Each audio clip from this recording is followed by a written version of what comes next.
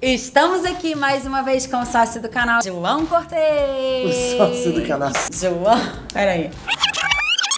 João Cortes, meu amor, meu amigo, meu lindo, meu ruivinho. Agora falou meu nome certo. Mas, gente, eu não tô acreditando que eu tô errando.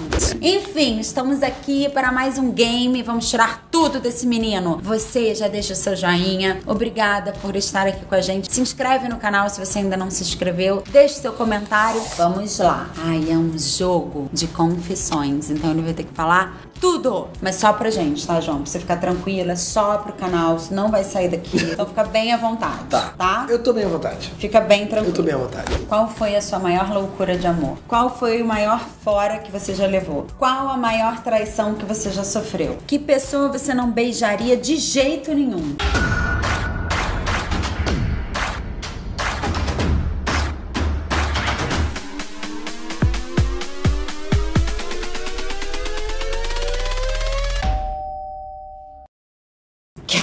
Gente, eu tô... Quem foi a pessoa que você mais prejudicou na vida? Uma vez eu bati.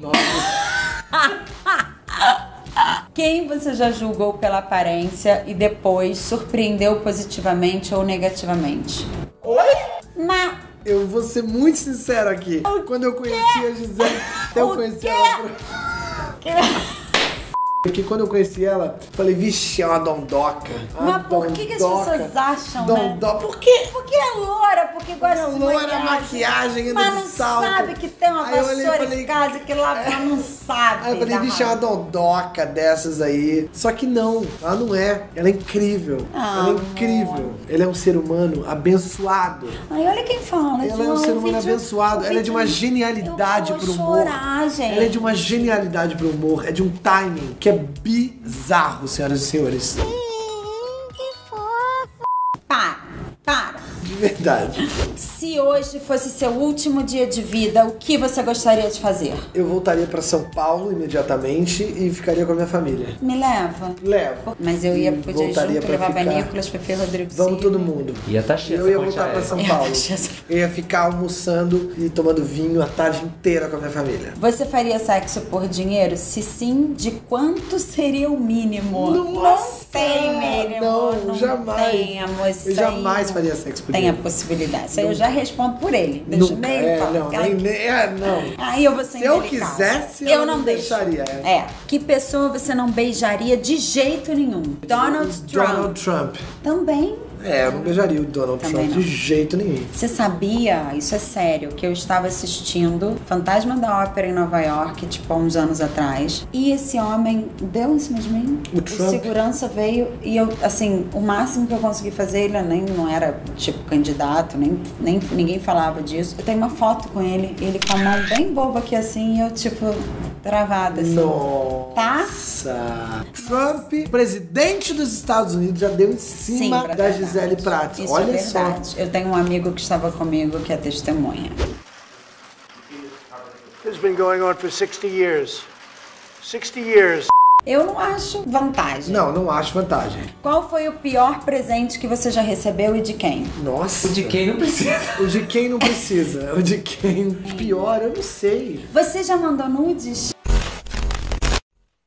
O que você.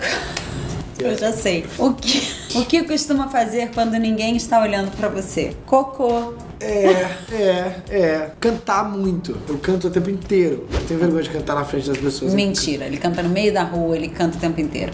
Canta. No meio da rua, no saguão do hotel. Ah, tá, é Tem. verdade, eu não- não canta, tenho vergonha, Canta. não. No táxi, no Uber, canta. Qual foi a sua maior loucura de amor? Eita, teve. Eu fui no aniversário do atual cara que tava com ela. Que ela a gente já tinha separado, mas eu fui lá. Fazer O que eu fui? Eu não sei. Tem, Fazer? tem fases da nossa não vida me ligou, que a gente né? faz coisas que não fazem sentido. Então, esse masoquismo. É. Vamos conversar depois, tá bom? Teve, teve outra, teve outra. Isso antes, com outra mulher, mas eu convidei ela pra ir num show do High School Musical e eu paguei um, um ingresso mais caro pra levar ela no show do High School Musical. Isso eu não acho loucura. Você não viu o preço do ingresso? Ai, eu já fiz algumas, não vale a pena nem contar.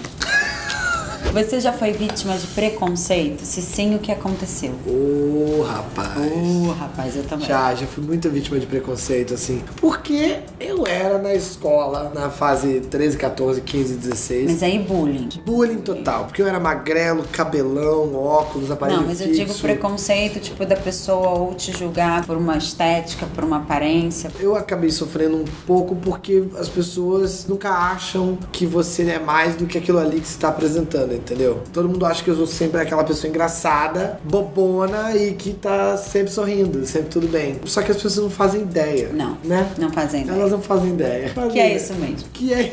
Elas não fazem ideia.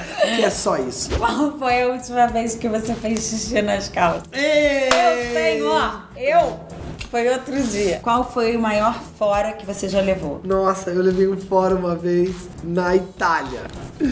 Eu atravessei o salão inteiro pra falar com ela. Tadinho. E aí eu fui Quilômetro. lá, era um tempão, aí eu fui lá pra falar com ela, pra me declarar, e eu comecei a explicar que ela era linda, que eu era brasileiro. Ela, tipo assim, ela tava meio escutando, quando ela vira de frente, ela fala...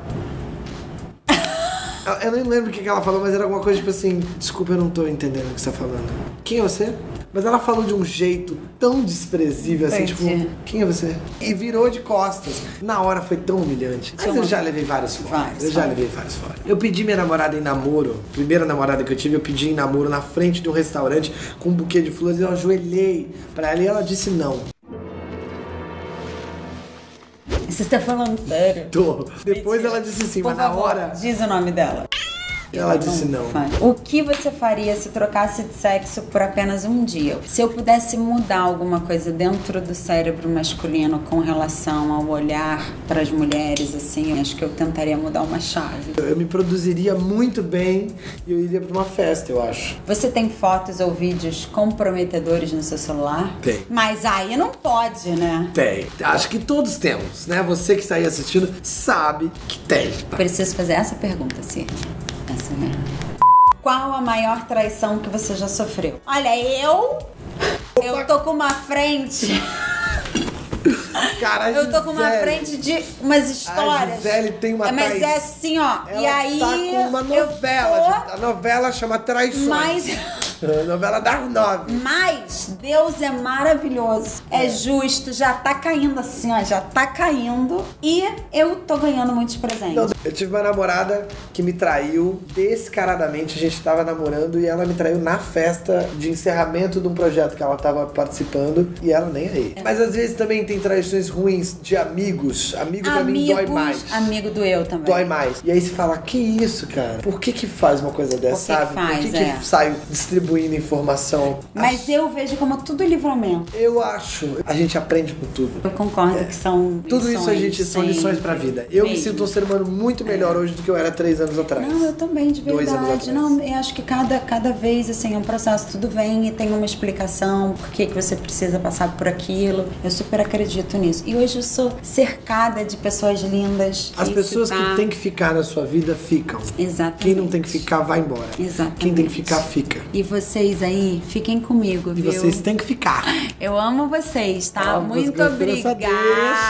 Adorei. Agora dá tchau pra eles, então. Galera, foi um prazer estar aqui. Beijo, gente. Obrigada por vocês estarem e continuarem aqui. A gente fez um monte de pergunta aqui. Escreve a resposta de vocês aqui embaixo no comentário. Ah, é, eu quero saber o que, que vocês vão responder. Eu vou adorar ler. Beijo.